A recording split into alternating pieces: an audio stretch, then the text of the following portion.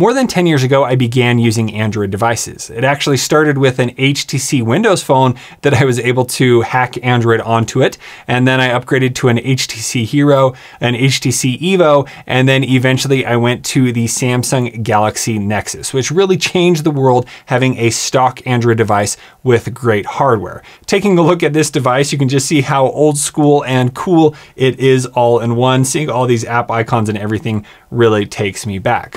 And thanks to Google, today begins a new journey in the Android era with the Pixel 6 Pro. Huge shout out to Google for providing this phone to, for me today. I'm going to be using this as my main mobile device, and I'm excited to see where Google has gone from using stock Android on the Galaxy Nexus to having the latest Android 12 version with the Tensor chip that is built inside the Pixel Pro. So in this series of videos, I'm gonna show you all the great things that you can do with your Pixel phone. Today's video is all about getting it set up so that it works for you.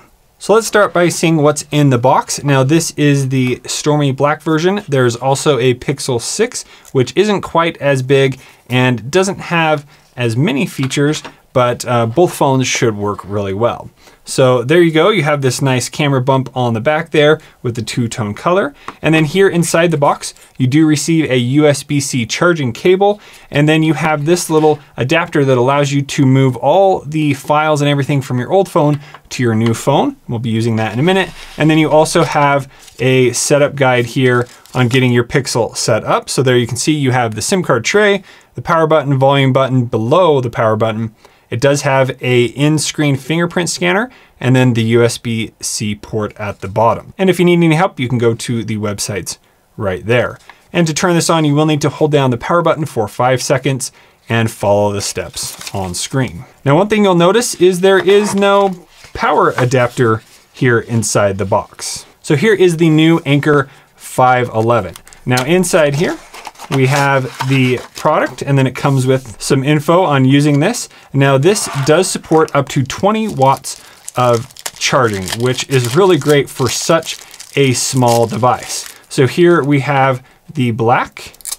It also comes in blue, purple, and white. So four cool different colors there. Now this does use USB-C to power your new device. So for the Pixel, we'll be able to just plug this in and it will be able to power and charge up our Pixel 6 Pro. Make sure you check out the Anker 511. Link will be in the description below. Now the next step is to turn it on. So here we're gonna hold down the power button for five seconds and there the device turns on. There you can see it does have a front facing camera at the top in the screen, which allows you to have this really big, bright and vibrant screen without a big notch at the top. Welcome to the Pixel. Right here on the screen, we can change our language and you can also turn on different assistant options if you need help setting this up we're just going to select get started. And now the first thing we actually need to do is install a SIM from your phone. So you might be able to just pop out the SIM from your old device and put it in here. Um, for me, I will need to use a new SIM. So we're going to install that now.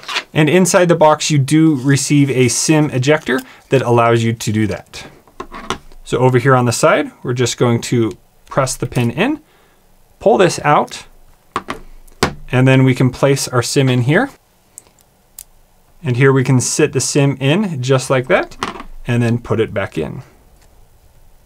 And then it's going to ask to connect to Wi-Fi to help this get set up. And today I will be moving all my info over from the Samsung Galaxy S21 Ultra to the Pixel 6 Pro. So next it's asking me if I wanna copy over my info to transfer my apps, photos, contacts, Google account, and more.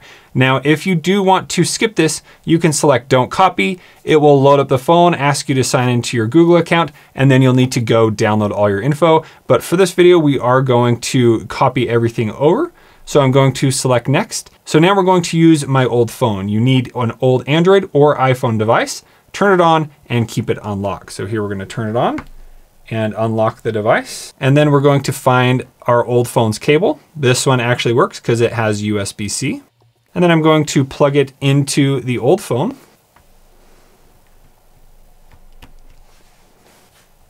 Next, and then we're going to connect the cable to the Pixel 6 Pro.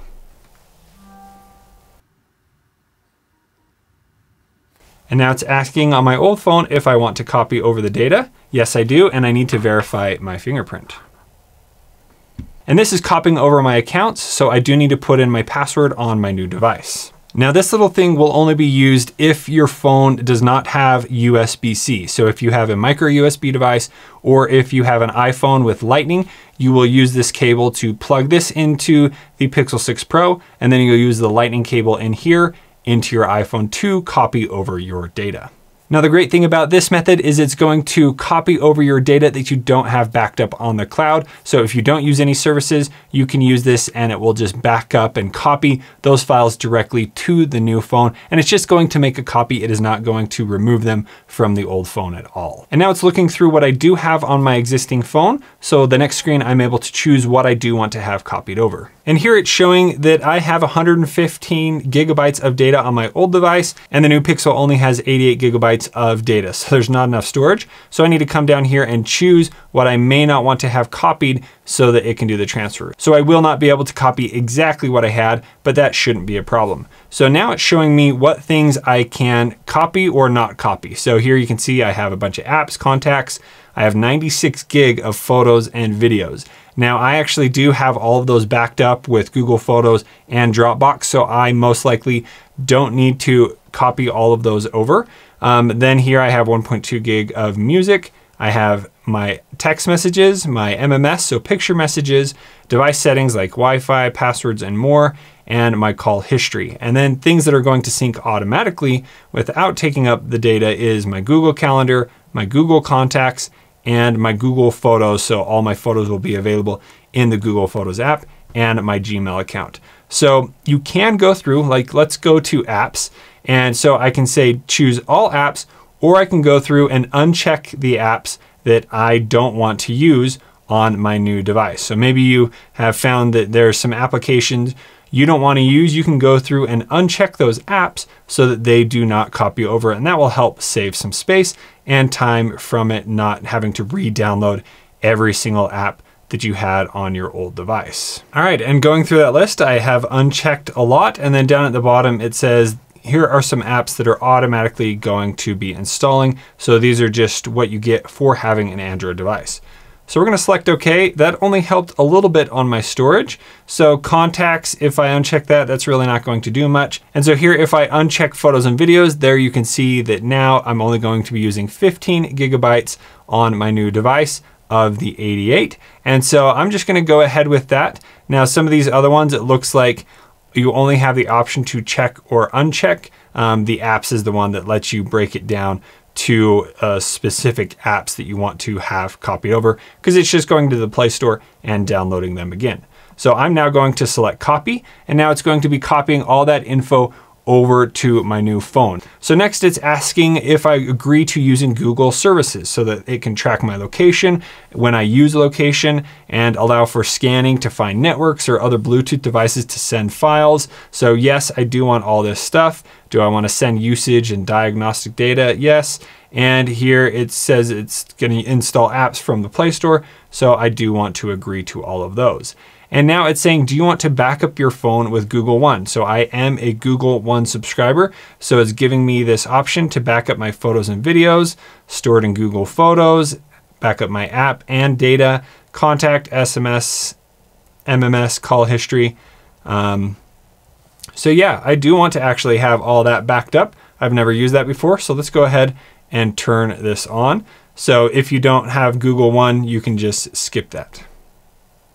And now we're going to set a PIN code so that we can access our phone and then set a fingerprint after that. So now we're going to set up the fingerprint unlock and here you can read more about what it actually does.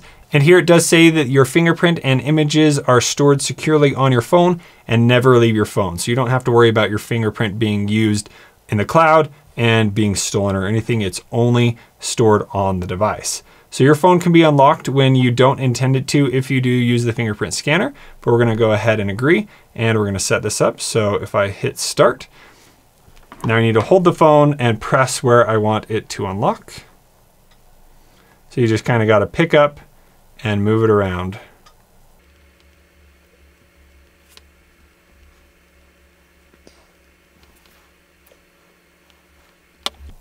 And my fingerprint has been added. So now it's asking if we want to keep going. Next, we're going to set up things like Google Assistant, Google Pay, and everything else. And yes, I'm going to continue doing this. or you can select the option to finish later. So here it's asking if we want to talk to our phone hands-free with Google Assistant. Yes, I do agree to doing that. And it's going to use a feature called Voice Match. So anybody can use Google Assistant on your phone, but Voice Match does add some security to recognize your voice versus just anyone else that is trying to talk to your phone. So I've already set up my voice match. I'm going to be using that with Google Assistant. And now it's saying access your assistant with without unlocking your phone. So this is nice so that you can quickly ask a question without having to use your fingerprint. And so I'm going to allow for that to happen. So then I can call and other things right from the lock screen. And now it's saying, do we want to set up Google Pay? Now we can do that later in the app, but I already have mine set up. So it is going to link my card. And now we do need to confirm some of the card details and my information. And for security, I will need to unlock my phone for larger purchases with my fingerprint. And here it's saying Google Pay will be set as a device administrator to make those changes. So now it's set up pretty much the majority of the device. Now the last thing it's asking is if I want to set up anything additional. So we could add another Google account, we could get instant translations, identify music around you, so you can learn about how to do all these different things. But right now I'm going to select no thanks. And now it's asking if I want to get more tips and tricks. I'm going to select yes, I'm in. And here it is still copying over data, so keep the devices connected. It's gonna last about four more minutes. Now our phone is almost ready. So it says we can now disconnect the cable. We're gonna go ahead and do that on both devices. And now it's going to install the 272 apps I have in the background just using the Wi-Fi, but it has transferred my contacts, music, text messages, device settings, and my call history. And now it's making some final changes to get my phone ready. Now we're going to learn about navigating the phone as some other Android phones are slightly different. So is what we're going to do is learn about swiping home. So all you have to do is swipe up from the bottom of the screen to go home. Next, we're going to learn back. So to go back, all you need to do is swipe from the edge of the screen in, or you can swipe from this side in. Now we're going to switch apps, which you hold up and then it goes to the recent apps menu and then you can find the app you want to use by swiping uh, left or right. So now we're just going to swipe up to go home. And as you can see, it did copy over the background that I previously had on my phone. And here it's giving us many different notifications because it's downloading and continuing that setup process. And then here we have our new home screen. So right now there's only one page here. And then if we swipe over, it's going to go to Google Discover, where it's going to talk about news articles and different things that are tailored to you um, for things you've searched through on Google and other such info. So on the home screen, we can swipe up to get to our apps and we can keep swiping to check out our apps. You can see it still has quite a few of those to download. Swipe down, that will go away. Now on the home screen, if we swipe down from the top, then it opens our notification shade. And if we swipe down again, here it's opening our quick settings. So this is where we can quickly turn on and off Wi-Fi. Here I have a flashlight option I can turn on and off and then I can swipe over. Now there are some new settings that I do want to add into here. So I can click the edit right here and it pulls open all that are available. So up here are the ones that I can see, down here are the ones that I can't see. And so I do want to drag some of these up so that they do show up on the home screen. So you have a lot of settings in here and as you download some apps, more will pop up. So right now we're just going to stick with those. Let's go ahead and try extra dim up here. And that's pretty much it. So now we're going to swipe to go back. And now we have all those settings here at the top. Now to lock and unlock the phone, we can just simply press the power button. It locks, push it again, it unlocks. And then I'm going to use my fingerprint. You need to hold it there for a second to unlock the device. And then we have our volume here. Now for the volume, you can simply mute like this you can tap again and you can turn on vibrate or we can go back to sound. And here we can change the volume uh, with touch as well. And if we touch the three dot menu here, we can then adjust our media volume, call volume, ring, and notification, and then our alarm volume. And then the last option we have here is called Live Transcribe. So when you turn this on, if you're using an app while your phone is on silent, you'll see a closed caption window pop up on screen so that you can actually hear what they're saying even though your volume is turned off, which is pretty cool. And that works with your volume off or your volume on. So I'm gonna go ahead and turn that off right there. So now I'm going to give it some time for all of my different apps to download, and I'll come back and show you the different ways in which I get signed into all my apps and organize my home screen. Now the transfer of my apps to the Pixel 6 Pro has finished, but you'll notice one thing that uh, my home screen is kind of boring over here and I have it all set up over there. So that is something that I will need to go through and reorganize over here on my Pixel 6 Pro. But if we swipe up, I will have all of the same applications now that I previously had over on my Samsung phone. Now it is giving me a pop-up to use app suggestions. So this will automatically display recommended apps right on my home screen. So if you do want that, you can enable it. If not, no thanks. I'm gonna go ahead and say get app suggestions because this will automatically um, find my most used apps at a certain time of day and display them right now. Looks like right now I'm typically ordering Crumbl cookies. And on the app suggestions, if you hold down up here at the top, you do have the option to say, don't suggest this app, or you can just select cancel and it will put the apps back there at the bottom. So now let's go into organizing our home screen. So the first thing to know is anywhere on the screen, you just hold down your finger until this pop-up pops up and you can adjust the home settings, widgets, wallpaper, and style. So let's go ahead and adjust home settings. So this is a lot of info that uh, you can go through and it's gonna give us a lot of different settings that we can adjust. Here we can have it add app icons to the home screen. So when you download a new app, it's automatically going to put the icon. Here we can swipe to access Google over on this side. We can see suggestions and we can also allow our phone to be rotated in portrait mode if we want to. But right now we don't need to adjust any of those.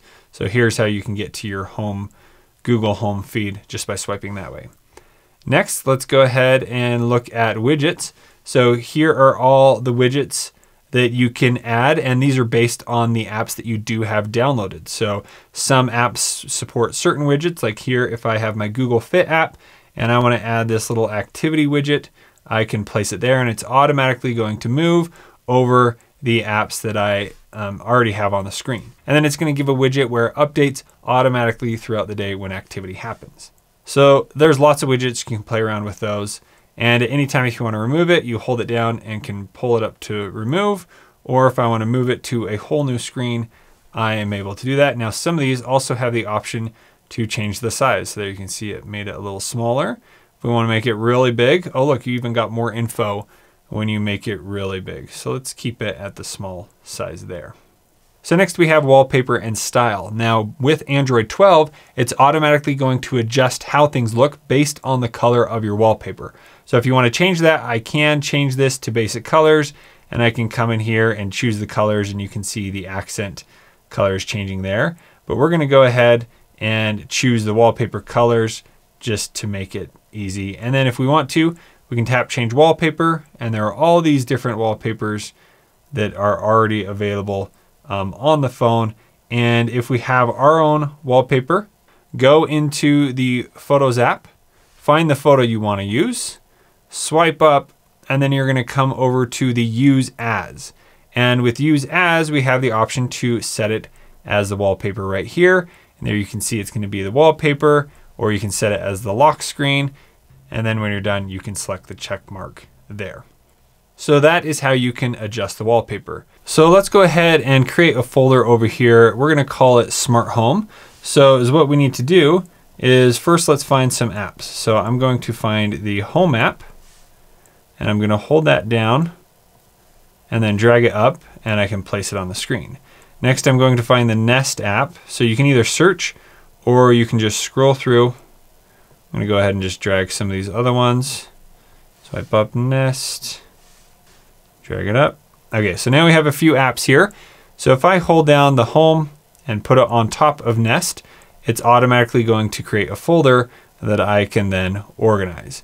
And then if I tap on here, I can call it a certain name. So this is going to be called Google Home. Then if I have other apps, I can also drag those right into the app and I can create a different folder and I can move that folder around. And so there you go. That's how you can use folders here on your Google Pixel. And if you want to create a new page, all you have to do is hold this down and drag over to the new page. Now there is no way to organize the pages. You just have to make sure that you've organized them the right way the first time you do it because you can't move this page on the other side of this and this page over there and so on. So that is how you organize the different pages. And at this point, our phone is pretty much almost set up. Now, a few other things to do is to head into the Messages app. And then here we're going to agree to faster, richer, higher quality chat on Wi-Fi or data. So as what this does is Google has implemented a new standard called RCS into Android devices. So if you're texting somebody else that has Android that has enabled this, you're going to be able to send photos and videos that are much higher quality.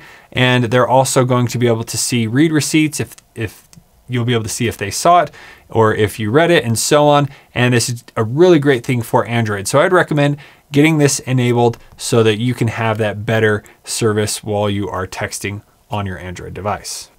So we're going to tap agree if that pop-up, you don't see it, you can check in the settings under chat features and you can make sure that's on and you may need to verify your phone number. Next, let's check out our contacts, make sure everything has been transferred. So if we go into the contacts, here it's recommending that we turn on backup and sync for a Google account so that if you do add new contacts, it will automatically back them up. Now I've been using backup and sync for my contacts forever and I've never had an issue. It's so nice that everything is backed up. So now you can see all of the different things that I already have backed up into my account. So here it's also saying that I have some duplicates that it can automatically help me organize and stuff, but we're going to do that later. So in the menu here, I have the option to fix that. And then I have different categories as well. And then you can create different labels there and so on. So those are all of the contacts on my account. I also have the option to choose contacts from different accounts or just the contacts that are stored on the device, which I don't know if I need any of these on the device, but uh, we'll just leave those there.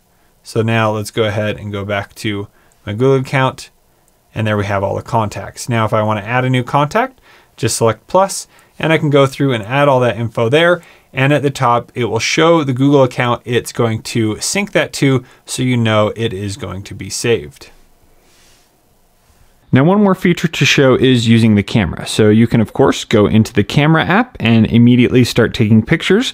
But at any time, even if the screen is locked, you can actually double press the power button like that and it will jump right into the camera, which is pretty cool. Now here you can simply press the button to take a picture. Down here at the bottom you have your different options. So you can do the video mode and then you have these other modes here. You have the portrait mode, which keeps the person in focus and the background kind of blurs, gives it really professional look.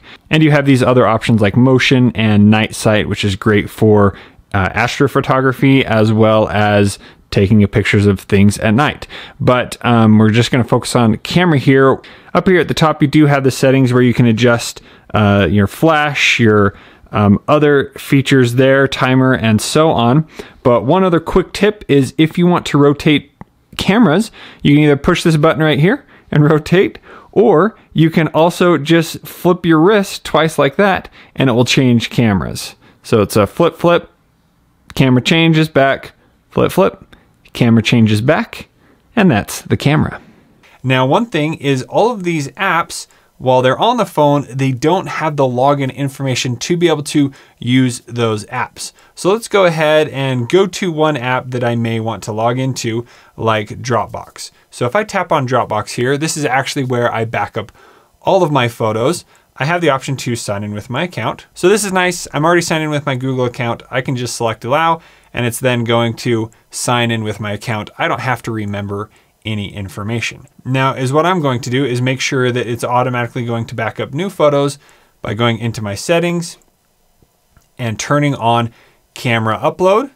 I'm going to select all my photos and then I'm also going to include videos and tap to start backing up. Okay, it's now going to begin backing up. Let's go ahead and go to a different app that I may want to sign into. Let's try another app. Let's go to Amazon. So here you can see I do need to enter in my email and password. Now there is an option where it can automatically autofill and right there, after waiting a second, autofill usernames and passwords popped up. So if I tap on there, it's giving me the option to have Google store and automatically retrieve my passwords safe on my Google account so that I don't have to re-sign into every single application. So I definitely recommend making sure that you have that set up so that if you do need to sign in now, the next time you set up a new phone, you won't have to re-sign in. So I would just go and set my email and select continue. And I do have a passphrase to kind of add some extra security to my passwords. And then it's giving me the option of which account I want to log in with. So I'm going to select that account and select sign in, and then it is going to sign into the app. So now I'm gonna go through all of my different apps and sign in and set them up just like they were over here on the old phone. And again, if you already have your password saved, it's gonna save you a lot of time. If it did not prompt you to use Google to restore your passwords, to set that up, you're going to go to the settings. Now you can scroll up and type in settings here. That takes a little bit of time to go into the settings. I like to pull down the notification shade and go to settings right here. But you're gonna scroll down and look for passwords and accounts. So here it's showing autofill service. So that's what it is using to restore those passwords. Now I can select the settings here and turn that on or off or um, look at the information that is stored. But if I tap on Google, it gives me the option to add other services. So if you didn't add your Google, here you would be able to select that. If you want to use another service like LastPass or Dashlane or whatever password management you use, you are able to do that right there. But I already have mine set up. And if you don't want to use that at all, if you're tired of it popping up saying, save this password, you would want to come in here and select none. So now that we have that set up, I'm going to go through and sign in to all of my different apps. Now I already showed you how I'm going to back up my photos with Dropbox, but another way to back up your photos is through the Google Photos app, which is right here and it's already downloaded onto your phone. So the first time you open this up, it's going to welcome you to Google Photos and saying this is a place that your photos and videos will live. And you have the option to back up the full resolution with your account. So here I'm going to confirm my Google account. Here you do have the option to use mobile data to back up, but I would recommend using Wi-Fi so it's not going to use your data plan. Okay, next it's going to talk about how you can find pretty much anything with Google Photos. It's automatically going to tag places, people, pets, and other things that are in your photos. And you can also get emails and tips to get the most out of your photos. So here you can see it's automatically showing the photos I've already taken on my phone, but then it's automatically going to pull in photos that I already have backed up on Google Photos. So I'm going to make sure that my backup settings are set properly. So I'm going to tap on my account at the top, and then I'm going to select Photos Settings. And right here at the top, we have Backup and Sync. And first it's showing my account. It's saying Backup and Sync is on. And then down here, it's showing what size of photos it is backing up. So right now it's saying that it automatically is backing up the original quality. Now, no matter which of these options you choose, it is going to count against your Google account storage. So I do pay for Google One where I have more storage available. Now I could back up my original quality because I have plenty of space, but I do have to pay for that. The other option is you can do storage saver. Now this is still going to take up space, but you'll be able to have a lot more photos backed up on the free storage that comes with your Google account. So in the end, you might have to end up paying for this if you do take a lot of photos and pictures on your phone, but um, there might be some other free services out there you can check. But I recommend using Google Photos or something like Dropbox that can store all your photos as those are services I have used a lot and can recommend using them. So right now, let's go ahead and keep using the original quality. At any time, if I need to free up space, I am able to reduce that quality so that I have more space in my Google account. So don't forget to add some protection. This is the Google Pixel 6 Pro case. I kind of like that. It has a nice little grip to it And I've heard that Dome Glass is coming out with a screen protector for this if they haven't already. So now I'm ready to use this out in the world. So with all that we've set up today, we are now ready to use the Pixel 6 Pro as my main phone. I did go ahead and transfer my Watch 4 to my new Pixel 6 Pro, so that's all set up. If you do want to learn more about this watch, you can check out the video at the end. But I'm gonna finish setting this up, learn about all the new features available on this phone, and come back with a full video all about the great new things that you can do with it. So if you have any further questions about this process, please let me know in the comments below. Thank you so much for watching. We'll see you on the next one.